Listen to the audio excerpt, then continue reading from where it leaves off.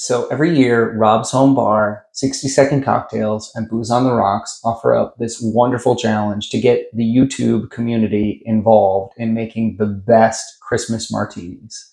This year's hashtag is hashtag Christmas Martini 2022.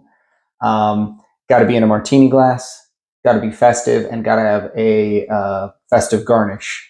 Let's do it. I'm your drinking buddy. Um, today I'm doing a riff on the Cosmonaut. Um, so we're going to begin by throwing in two ounces of whiskey here. The traditional recipe would be gin.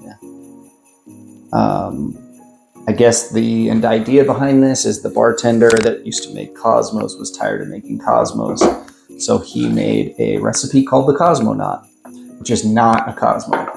Um, his recipe is gin and then lemon juice. We're gonna do uh, apple cider, so we're gonna go three quarters of an ounce of apple cider. And I do feel a little bad that I am also going to be using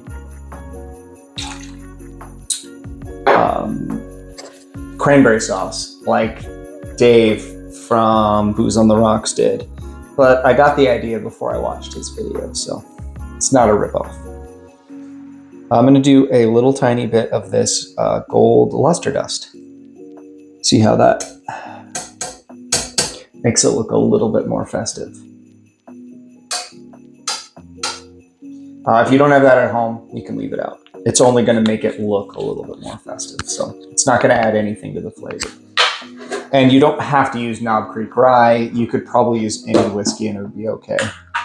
I like to use rye in cocktails. Um, the more I make cocktails with whiskey, the more I realize rye is probably the way to go.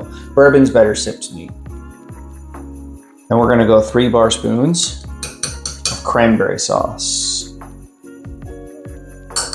The original recipe of the Cosmonaut is three bar spoons of raspberry preserves. That's probably went slightly over three bar spoons. All right, we're going to shake this. Now, drinking buddies, you probably, if you're making this at home, are going to want to double strain it. I kind of want those chunks of cranberry in here, so I'm going to go ahead and not double strain it. But if you're playing along at home, you might want to double strain it. And for a garnish here, I have a little present. Um, it's very festive. It does nothing for the cocktail, which is not generally my thing. Um, but it looks cool.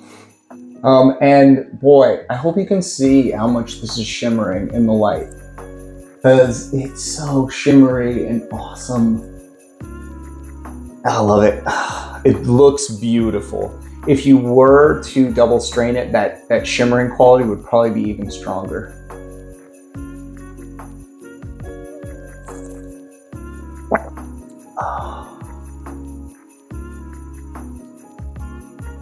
You know, I forget how much I like cocktails because I pretty much only drink bourbon neat, but then you make a cocktail like this and you remember, oh yeah, I love cocktails. This is so good. this is so good. Um, tons of maple, uh, tons of cranberry, um, the bourbon flavors that are coming, uh, not bourbon, the rye flavors that are coming to the forefront are really just helping to complement those two. They're not taking over at all.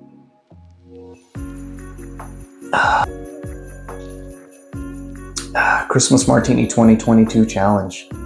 Feel free to enter your own entry. Even if you don't have a YouTube, create one just for this. Thanks for watching. We'll see you on the next one.